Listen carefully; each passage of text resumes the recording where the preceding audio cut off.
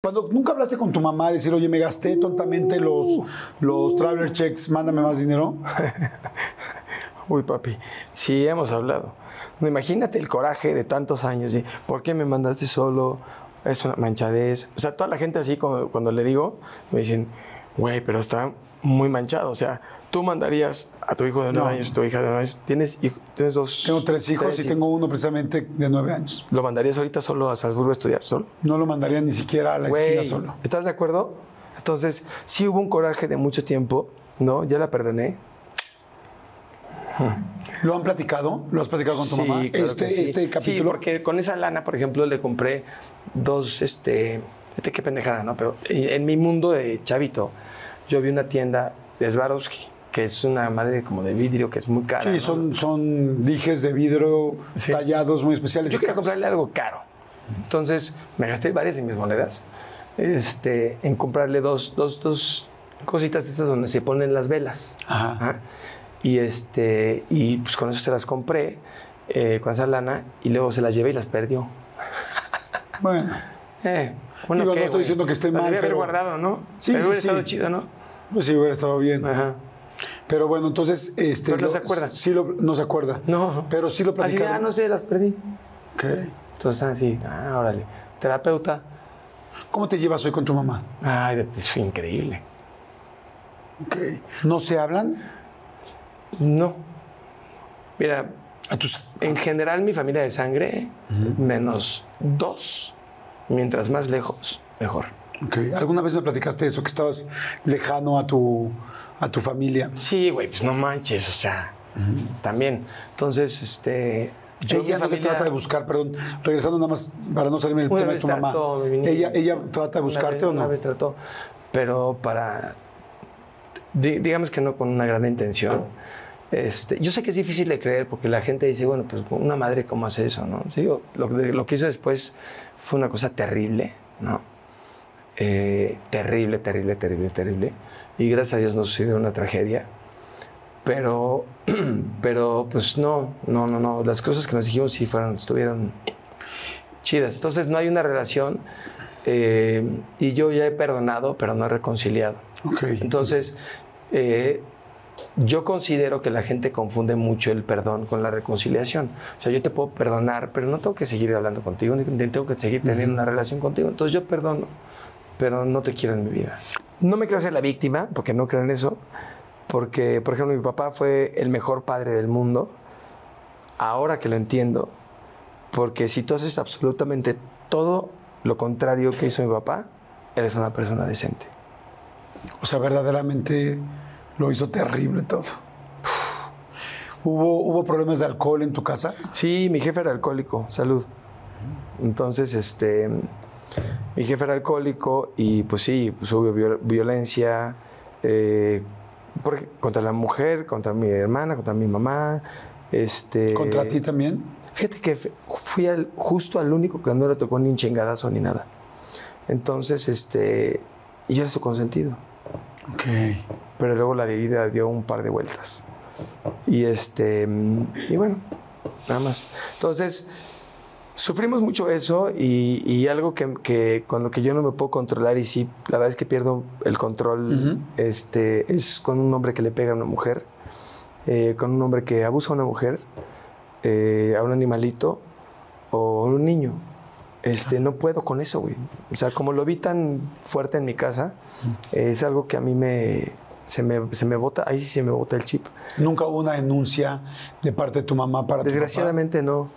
Y, y la verdad es que debía haber habido muchísimas cosas más, ¿no? Eh, pero bueno, yo creo que trataron eh, lo mejor que pudieron. Claro, cada quien. Sí, eh, hay de todo, ¿no? La mayoría de los padres, creo yo, siempre quieren el bien de sus hijos. La mayoría. No todo el mundo, Sí, pero mi jefe, por ejemplo, no solamente no nos cuidaba, sino nos, nos hacía daño. O sea, hay gente que también hace daño. O sea, no solamente te cuida, sino te lastima. ¿Nunca hablaste con él? Sí, papi, claro, por supuesto que sí. Cuando yo estaba grandecito fui a hablar con él. ¿Cómo fue la plática? ¿Cómo fue el momento? ¿Cómo fue? Pues. Pues no tan cordial. ¿No? Pues estuvo rudo. Pero, pues nada más una plática y ya. Porque tengo entendido que luego viviste con él. Vamos a, a seguir platicando de eso. Nada más te quiero preguntar sobre tus hermanos. ¿Ves a tus hermanos? No, a mi hermana. ¿A tu a mi hermana? hermana sí, la quiero mucho. este, me ha enseñado mucho, me ha aconsejado. Karine. Karin, sí. Es, este, es, una, es de la poca familia de sangre que tengo que es familia, ¿sabes? Entonces, de la muy, muy poca. Entonces, la, la quiero mucho. eh, y como te digo, me, me ha hecho aprender cosas, hemos vivido cosas muy similares, entonces somos los únicos dos que realmente nos entendemos, porque vivimos, a pesar de que ella me lleva seis años, eh, pues nos entendemos porque vivimos pues cosas, pues las mismas cosas, ¿no? Oye, estoy pensando ahorita, es que nada más me estás platicando de los nueve años de Salzburgo y solo. De alguna manera has estado solo también, pues. Me hice amigo de la soledad, La mayoría de la adultez, ¿no? O sea, como si a los nueve años se estuviera marcando un poco cuál iba a ser tu destino, por lo pronto hasta nueve- hoy. Yo envejecí a los nueve años. ¿Hoy te sientes solo? ¿O ya te acostumbraste?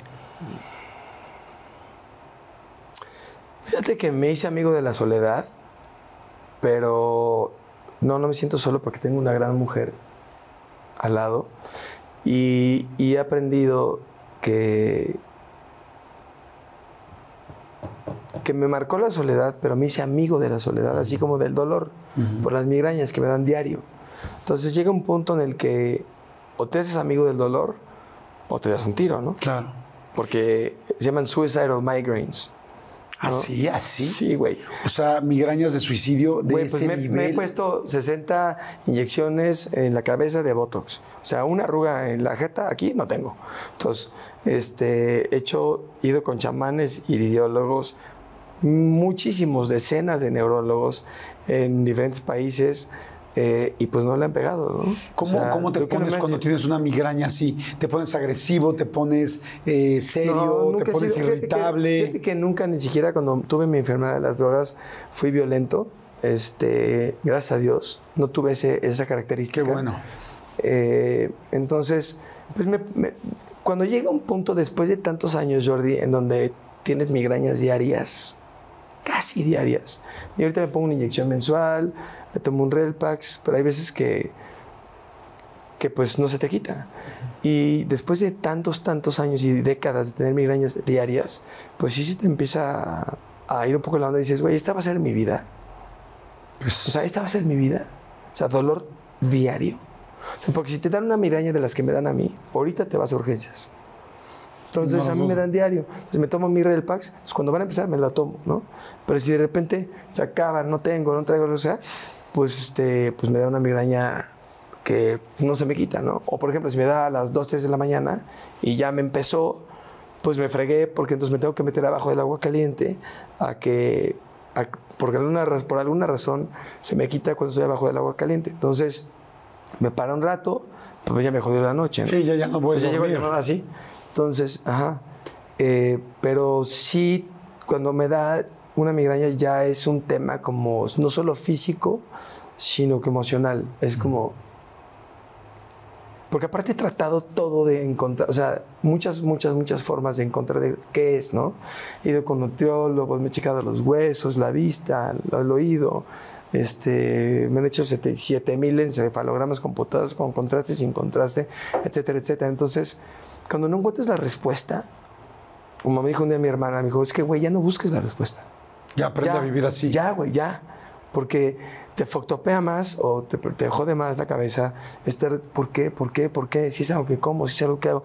O sea, es como, es, es como, es como muy frustrante, güey, ¿no? Mm, claro.